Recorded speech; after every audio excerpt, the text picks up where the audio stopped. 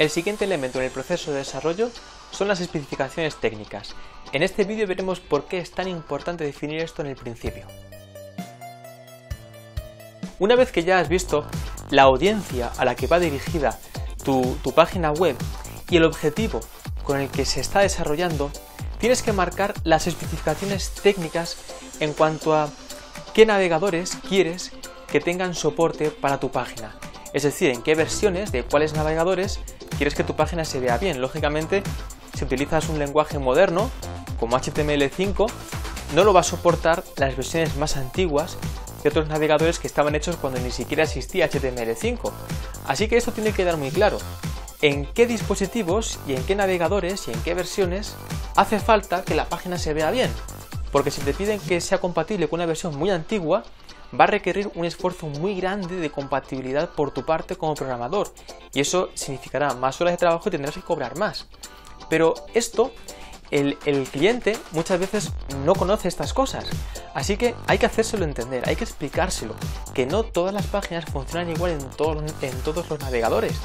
Pero como ya sabes la audiencia, porque ya lo has determinado anteriormente, sabes si es una audiencia joven, si es una audiencia mayor, ahí tú puedes saber qué posibilidades hay en cuanto a qué navegadores usarán y qué dispositivos utilizarán. Y como también sabes el objetivo, puedes saber si el objetivo es, por ejemplo, como te decía en el, en, anterior, un vídeo, pues ahí tú sabes que ese objetivo, con un navegador viejo, con la etiqueta moderna de HTML5, quizás dé problemas. Por eso, mm, quizás te, veas obligado a explicar que será más difícil hacerlo con todas las versiones de todos los navegadores y, que solamente el público con unos dispositivos modernos lo van a poder soportar. Eso tienes que saberlo. Un truco. Observa qué tablet o qué teléfono tiene el cliente.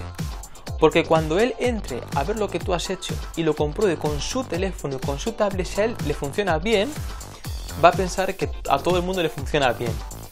Pero si a él le funciona mal, se va a creer que a todo el mundo le funciona mal. Y eso algunas veces es complicado de hacérselo entender, de que una página puede funcionar mal en un lado y bien en otro.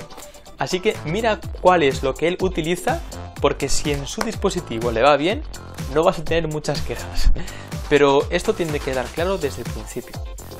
¿Cuánto esfuerzo hay que hacer para dar compatibilidad? El siguiente paso en el proceso de desarrollo es marcar un listado de qué cosas exactamente un inventario de qué contenido concreto tiene que reunir la página.